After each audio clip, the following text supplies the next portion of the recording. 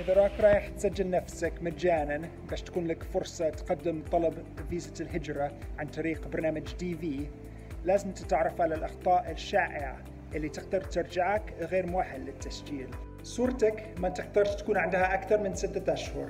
لو كان تستعمل نفس الصورة كما العام اللي فات ما راحينش ناخذوا آه، تسجيلك في عين الاعتبار.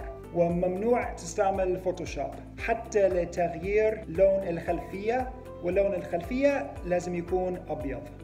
إذا راك متزوج ولا عندك أولاد أعمارهم أقل من 21 سنة لازم تعطي لنا اسمواتهم بالواحد.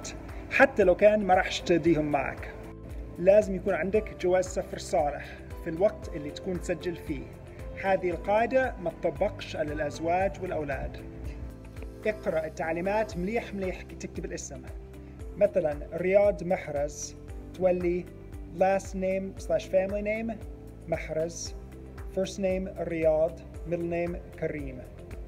لازم تحتفظ برقم التأكيد والإيميل اللي سجلت به إذا عاونك كاش واحد باش تسجل أنت شخصيا لازم تحتفظ برقم التأكيد والإيميل باش تقدر تشوف النتائج في شهر ماي. إذا ما عندكش باك احتمال كبير بزاف إنك غير مؤهل بما أنه من الصعب جدا إنك تمثل حالة استثنائية. إذا تم اختيارك وإنت غير مؤهل راح يرفضوا لك الفيزا نحار المقابلة بالسفارة. ما تنسوش كاين موقع رسمي واحد فقط. اللي هو dvprogram.state.gov اي موقع ما يخلصش ب .gov ما يخصش الحكومة الأمريكية. اكتبوا لنا جميع أسئلتكم تحت في التعليقات. وشكرا.